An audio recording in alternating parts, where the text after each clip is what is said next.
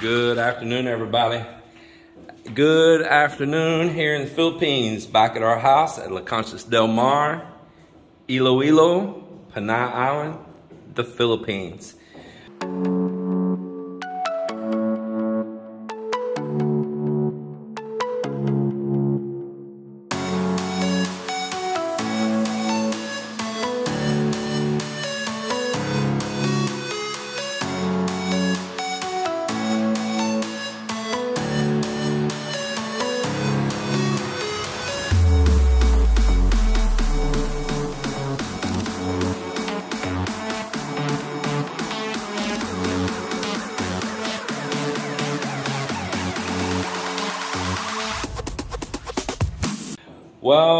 I've been busy all morning with my friends, enjoying Cap, enjoying Bill and Rose and, and Melinda, enjoying her just a little bit. And Melinda's been cooking up some good food. Boy, I just filled up that belly from lunch. Woo! Cap and I, we spent the morning snorkeling around out back. And I was just trying to relieve a little bit of a headache. And some reason going out there floating on that water with that snorkel, just actually just kind of floating face down like that and relaxing in that water and looking at whatever I can see, if not much there sometimes. It is so therapeutic. It's unbelievable. And it really helps uh, bring me down and relieve all of that. So uh, thank you for that God's medicine. The guys, they've been working all morning. I haven't covered it yet. They pulled the forms on the little wall that they poured for the CR down at the ground when you first come in. I want to bring up about that CR. Somebody wrote in a comment, you know, you're building another CR. They've been a great place for plants and all. Um, we don't need another place for plants. We got plenty of places for plants. But let me explain about that CR. This house that we're building here, it's not just only a home. Um, it's a place for people can come, rent a room, enjoy the beach, stay here, relax, and we can also host events. Somebody's having an anniversary party, somebody's having a birthday party, a class reunion, uh, whatever their event is that they're wanting to celebrate, they can book this place in the future. They can book this place. And um, there's some local caterers that we can work with that's willing to work with us and all, um, even right now. And uh, if we wanted to do something right this minute. And there'll be a lot of people on the property. The, the commenter said, you know, you already got three restrooms on the ground floor. Well, correction, there's four restrooms on the ground floor, but only one of those is for just any and everybody use, and that's the one out in the yard out there, the outdoor CR.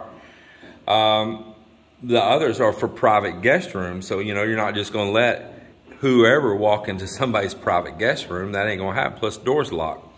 So those are not included.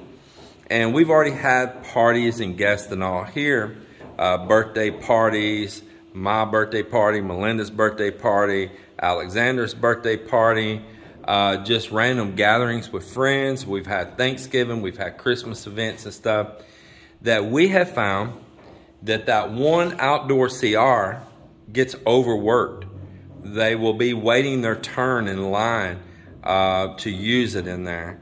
And we realized we really had a deficit for enough ground floor, ground level restrooms. And that is why I decided to put that one in right there. so we live a little ways out of the city. Let's say you rode a bus here, you rode a taxi here. Let's say that you drove your own vehicle here. You know, there's not a lot of public restroom places along the road. So when you get here, we found ourselves, we found guests a lot of times. They're ready for a little relief, you know, like, whoo, first thing you want to do is get to the restroom. And that's going to be handy right there at the very front. When you come to the gate, there's a restroom you can go to right there. So trying to be wise with all this. Remember this again and again and again. This is not just a house. Mel and I, we could literally live in a shoebox. We don't care. Isn't that right, babe? Oh, yes. I mean, she'll tell you, we, we might have built all of this. Melinda had no doings and none of this. This was all me and my plans. But we were really happy living in a small house. But this is a place for friends and family and parties and to enjoy and for bookings and uh, earn a little income back for our investment and all. Um, so that's the reason that it has so much to it. It's not just a simple basic home. And with that, I'm gonna get back busy here on this not so simple and basic home. So here we are upstairs up here. So nice to have this roof on now and gutters. And I am up here about to make some switches around on our electricity. We've got two of these inverters. This one here has just been hanging here as a temporary measure for a while. Um, when I kind of thought about how I want to put things here. But it's not where I want it. I've got conduits coming out through the wall uh, for different leads that are coming through for different powers and all down the floor too for solar arrays, for wind generator, for all those things. But I need to also have for my batteries. This is just one of, of several. And so what I'm to do here is I'm to go ahead and get these uh, both inverters mounted. Now, I wanted to put them side by side right here and you need a certain spacing on the side for it to be able to breathe. It's got where fan draws air here, blows it out down here, and it's that way on both sides. So you don't want to get it too close to a wall. You don't want to get your two inverters too close together also so they can properly cool. So um, then you need to read this display right here. And I've noticed if the display is too high and it's at an angle, the shininess of this screen, it's hard to read it. If it's too low, you're stooping all down. So you really want them at eye level. Uh, for me, it need to be seven inches higher than it is right now. So I made little markings up here on the wall. Uh, this wall right here is unfinished as far as being textured or anything. So I didn't mind if I penciled all over it. And I penciled in uh, where this is going up here. Uh, it's gonna get raised up that seven inches and that's gonna put this display right in front of my eyes here and the display on the other one right here. And it leaves me plenty of room down below for the batteries. But the next thing is if I ever wanna upgrade uh, to a different style inverter and maybe it's got different dimensions and all, that I have a little room to move up and down and or in the middle if it's just one great big one, which I'm against doing because you lose that one inverter, you lost everything. Redundancy is what I like. Uh, so this way I'm gonna lay it out. Then I've got these other things that's going to have to be put up. I've got these um, hybrid MPPT wind and solar hybrid controllers right here. And there's one here, there's another one here. I need to mount them. I believe the wiring is this wiring right here. Uh, I think I'll put them right here to the side. But then they have a dump load that goes on them for the wind part. And there'll be two of these dump loads. And now these will produce some heat because when it's dumping that load, this is like a resistance coil here, kind of like in a hair dryer or a heating element. And of course, if it's making resistance, it's making heat. And so it's going to go to that. And that's only if the batteries were completely full of power and the wind generator is still producing. It needs somewhere to go with that power uh, so it's not free spinning. It needs some resistance. So it's important to have that. So once this is all set over in place, I think I can put them right over here to the side. In the end, I plan on making a cabinet out around all of this. So you will not see the equipment and you won't hear those fans at the, the decibel level you hear them at right now. I will go against this wall right here out with a piece of plywood. Same thing over here. And I'll build a cabinetry, a cabinet in around them with louvers in it so that air can circulate and breathe. Now this wall here doesn't get hot now that this roof is on outside. There's no direct sunlight or anything. And the inverters are to the inside of the house, which is usually being kept cool. So there should not be a heating issue anyway. So that's where I'm at right now. I'm about to make some marks up here again where my screws are gonna land. Go ahead and drill in, set some anchors, and I'm gonna go ahead and move this inverter over here first and then get prepared for the second one that's down in the garage and get prepared to move the batteries in right here. All right, well, as you see, we're moving the batteries. And I got the two inverters mounted up right here now. And we're gonna do this time, instead of the batteries all in one tall stack of four, it's gonna be a two and two right here.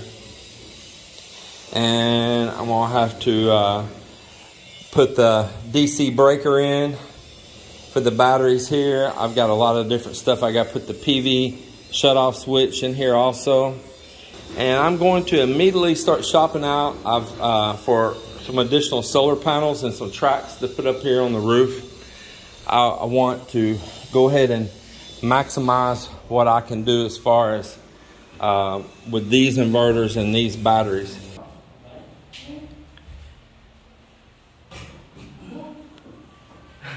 How heavy? Real heavy? Diabetes, the first. Woo.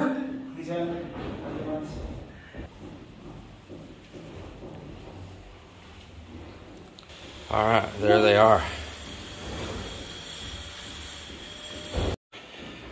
Well, continuing on here with the battery installation. Um, these have some plates for anchoring down on the floor right here. You drill in, you put some anchor bolts. Be all honesty, I didn't want to drill my floor tile. Um, I did something that it's kind of a little bit of the Filipino way. I didn't want that battery sitting directly on the floor. So I cut up an old slipper, the mate to this one right here. I cut it up into some nice strips, some nice uh, rectangle strips, and I put it underneath that pad and I took a couple blocks too underneath the front. And that way it's up off the floor. I don't have to worry about uh, moisture or anything like that, you know, just sweating condensation um, on that metal case down below.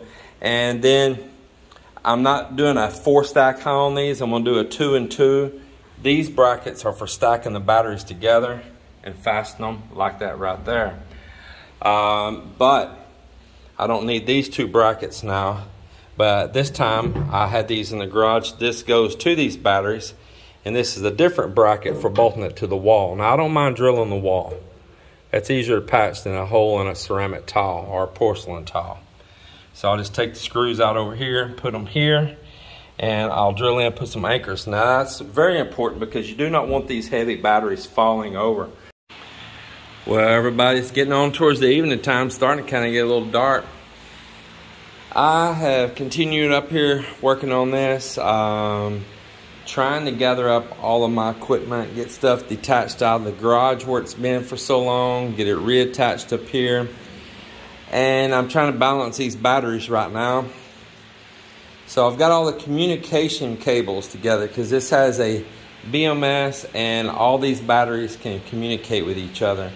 And right now, without any kind of load being pulled off of them and a little bit of charge coming in from solar into them, I am balancing them out right now. So these three batteries here, are now taking power and bringing it over here to this one and getting it balanced out. So I'm gonna let it sit here like that and they will balance their power all with each other before I connect it to inverter and start pulling load or anything like that.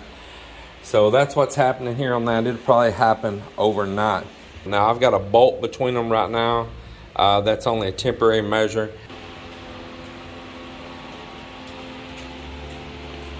I just love all these little bar tops everywhere.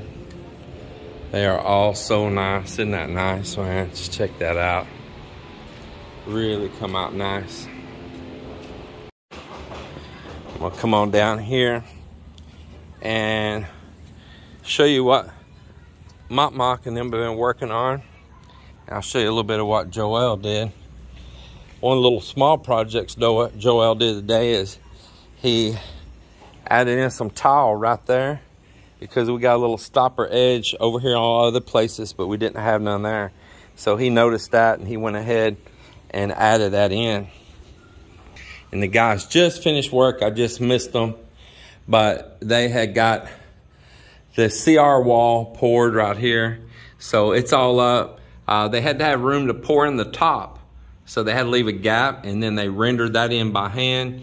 And They uh, were rendering in the doorway right here today down this side. See, they just thinking, might, might put plastic over so we didn't get rendering stuff on the stone. So he's just about got it. Looks like he was just almost done. He can finish this last bit up in the morning. Uh, their plywood was pretty old and tired, so the wall got a little wavy inside and there on a couple places because, man, we were just using old bits and pieces left of form board. So we got Bill and Rose staying right up here in the front small guest room right now, which is nice. It gives them their own little bathroom, um, bed, everything right there for the moment. So you put your cable in right there. You got your dies in. Tighten this down where it says on and start pumping the handle and it'll squeeze down a crimp on it. Do this laying down here. When I do it one-handed, I own so many tripods and I hate using them. do everything on the fly. Give it a good old crimping. I'm gonna put the camera down just for a second.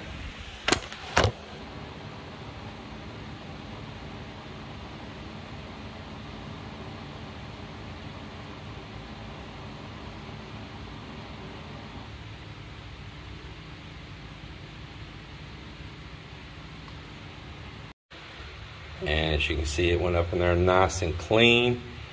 Looks really good. I need to tighten this lug down on it really good and tight now.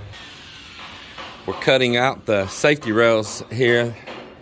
Um, we're cutting a section out right here because we're going to have a set of gates built to put in right there. And we need to pass through there right now because we're going to be doing some tile work over there. And we're going to do the same thing here. We're going to cut it. And it's going to have a gate put right here. And when everybody else out of the way, or to call them any time right now, they're going to uh, put railing on around over here and build me some gates so then they can chop this how they want if they want to put a radius or something there. But for right now, we're going to go ahead and cut this part out on both sides. They'll probably be able to take those pieces and actually make the gate